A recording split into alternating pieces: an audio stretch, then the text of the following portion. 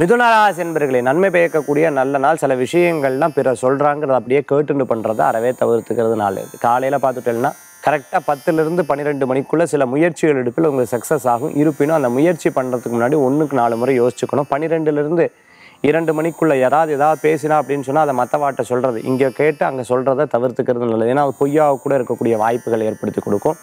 வேலை வாய்ப்பு நன்னா போயின்னு இருக்கு பிஸ்னஸ் நன்னா போயின்னு இருக்கு இருந்தாலும் ஏதாவது பண்ணணும்னு சொல்லி அந்த காரியத்துக்கு முயற்சி பண்ணி உங்களுக்கு அனுகூல்யமாக இருக்கக்கூடியதாக இருக்கும். பண விஷயங்களில் கவனம் என்பது தேவை. வியாபாரம் வெற்றியாகும். கணவன் மனைவிக்குள்ளே இருந்த பிரச்சனைகள் தீரும். பிரிந்தவர்கள் ஒன்று சேருவார்கள். சில முடிவுகள் எடுக்கும் பொழுது பார்த்துட்டோம்னா பெரியவங்க கிட்ட கேட்டுன்னு முடிவெடுக்கிறது ரொம்ப நல்ல பலன்களை கொடுக்கக்கூடியதாக இருக்கும். சின்ன சின்ன விளையாட்டில் குழந்தைகள் விளையாடும் போது சற்று கவனம் என்பது தேவை. இன்றைய தினத்துக்குண்டான அதிர்ஷ்டமான என் ஒன்பது நிறம் ராமர் பச்சை வழிபாட்டுக்குண்டான தெய்வம் மகாலட்சுமி வழிபாடு வெட்டு திரும்ப வழிபாடு.